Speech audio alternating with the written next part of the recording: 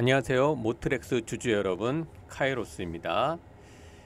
네, 지난주에 소개해드렸던 예, 모트렉스 어, 주가 흐름 음, 대응 전략 한번 말씀드려 보겠습니다.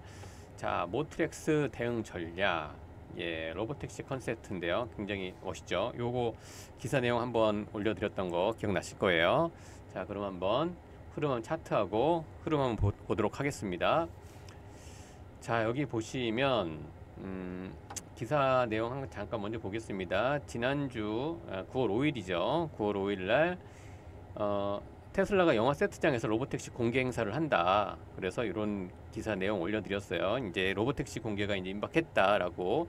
그래서 10월 10일인데 기사가 나오고 나서 그 바로 다음 날 주가가 움직였던 거죠. 그러니까 이제 자율주행 테슬라 자율주행 로드맵 어, 관련돼서 이렇게 진행이 된다라고 하는 또 이제 기사가 요 이제 또 이제 계속 이제 기사가 어 나오는 거고요. 예. 자, 테슬라 자율주행 로드맵 윤곽 로보택시 FDS 기대감 주가도 급등. 요거는 이제 6일 날 그러니까 제가 어, 그요 기사 이이 기사는 어 9월 4일 날 나왔던 거고 그, 그래서 이제 9월 5일 날 그 모트렉스를 알려드렸던 거고 이 기사는 이제 그 급등하고 나서 또 나온 거예요. 그래서 자율주행 윤곽 로보택시 그래서 주가가 급등했었 했다 이거는 이런 내용이고 자 그러면 어, 차트적으로 한번 흐름을 좀 음, 볼게요. 여러분들이 차트를 잘 보셔야 돼요. 주식에서 어, 성공 투자를 하시려면 차트를 무시하시면 안 됩니다. 차트에 다 나와 있어요. 어, 다 답이 나와 있습니다. 고점에서 사시면 안 되고 저점에서 그리고 고점에 사더라도 차트를 보면서 매수 타점을 잡고 어, 초고수들은 차트를 보고 매수 타점을 잡습니 다. 아니면 호가창이라든지 다 이제 어, 마다 다 다르긴 한데 자 우선 그 이날이죠. 9월 5일이죠. 9월 5일 날 한번 이렇게 살짝 올렸다가 어, 영상 하나 보, 보여드렸죠. 그 다음 날 9월 6일 날 여기서 이렇게 급등이 나왔습니다. 한 몇 프로 정도 떴나 볼까요? 시가가 6%로 떴고요. 시가 6%, 그 다음에 고가는 9%. 아, 하루 만에 9%이 정도 나오면 굉장히 굉장히 지금 어려운 시장인데 이 정도 수익이면은 굉장히 어, 굿입니다. 베스트죠. 예. 어, 매수하셨던 분들 축하드립니다. 예, 어려운 시장에서 예. 어, 축하드립니다.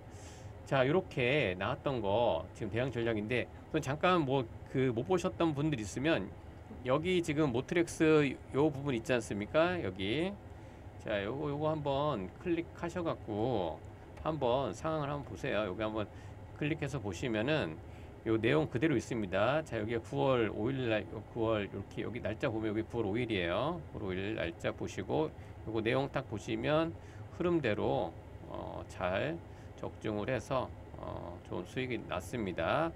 이거를 이제 한번 이렇게 보시고 자 그러면 지금 그 6일날 한번 급등이 나와주고 여기서 한번 했다가 급등이 어쨌든 나와줬다가 60일선 뚫어줬어요. 근데 120일선까지는 뚫지는 못했습니다. 여기 120일선은 뚫지 못했어요. 그래서 60일선을 뚫어주면서 여기에 이제 막혀있던 요 매물대 이 벽을 어쨌든 여긴 한번 try 했다가 다시 밀렸습니다. 밀렸지만 그 20일선에선 지지를 해줬다라는 거죠. 20일선. 자, 20일선. 20일선. 여기 지금 보이시죠? 20선 지지를 해줬어요. 어, 지난주, 그리고 굉장히 지금 경, 뭐, 경제 침체 된다 그래서 나스닥도 급락을 하고 지수 굉장히 해외 주식이 좋지 않습니다. 그런 가운데서 올라갔다 갑자기 내려왔고 지금 오늘 그나마 조금 어, 코스닥하고 코스피가 그나마 이제 혼조세로 지금 음, 진행하고 있는데 자, 요 정도에서 이제 지지를 어느 정도 다시 한번 보여주고 있는 거고 자 그렇다면 아직 이 한번 찔러주고 try 여기서도 지금 8월 29일 날에도 60일선까지는 뚫어줬어요. 한번 윗꼬리 달고 내려왔죠. 근데 120일선은 못 뚫었어요. 그쵸? 요 120선을 못 뚫었다는 겁니다. 여기도 그렇고 이날도 그렇고 그렇지만 단기적으로 대응해드렸던 부분들은 그래도 5에서 9%까지는 수익권이 나왔어요. 자 그러면 조금 더 이제 단기 말고 스윙의 관점 어, 20% 이상 관점으로 보시는 분들 잘 주목해서 어, 보시기 바랍니다. 그런 분들 자 여기 010 둘둘 오륙에 5260으로 찬스 찬스라고 자 찬스라고 문자 보내주시면 그런 부분들 더 디테일하게 어, 알려드릴 거예요. 어렵지 않습니다. 찬스라고 문자만 보내주시면 돼요. 010 010 2256에 5260으로 어, 어떻게 해요? 찬스라고 문자 보내주시면 이런 대응 전략 더 디테일하게 어, 알려드릴 거예요.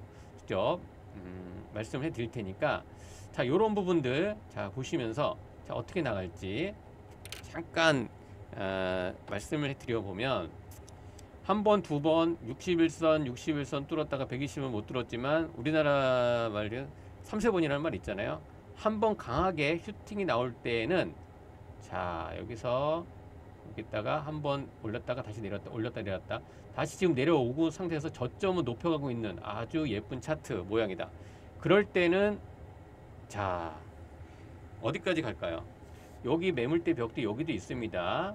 그리고 241선도 남아 있고 이 정도 정고점 때- 때도 있고요. 자, 그 매도 수익을 짧게 짧게 가져가시는 분들 이것도 괜찮 괜찮지만 아, 수익을 한번 좀 길게 극대화해서 가고 싶은 분들 있으실 거예요. 이런 분들 예, 주저하지 마시고 찬스라고 문자 보내주시면 됩니다. 자, 그런 부분들에 대해서 어, 전략적으로 대응을 해드릴 테니까 자 보내주시면 됩니다. 그러니까 이제 차트도 차트 공부도 해드리고 기술적 분석 그 다음에 그다음 재료 그리고 뭐 가치 이런 부분에 대해서 종합적으로 지금 다 아셔야 돼요. 한 하나만 알면 안 되고 주식은 전체적으로 종합적으로 단순하게 접근을 해야 되고 차트 수급 재료 이런 거 다 이렇게 보면서 그런 것도 단순 단순하게 해 하셔야 됩니다. 자 그러면 이렇게 저점이 올라가고 있다라는 거 그 다음에 이런 이제 매물대들 뚫어지는 아직까지 어, 시간은 아직 있습니다 남아 있으니까 아직 요번 그때 한번 그 매수 못 하셨던 분들 타점 못 잡으셨던 분들 찬스라고 문자 보내주시면 다시 한번 그 매수 타점들 알려드리겠습니다 그래서 또 좋은 수익 어, 볼수 있도록 많은 도움 드리겠습니다 예 어, 여기까지 하겠고요 구독 좋아요 어, 눌러주시면 영상 제작에 큰 도움이 되겠습니다. 예, 감사합니다.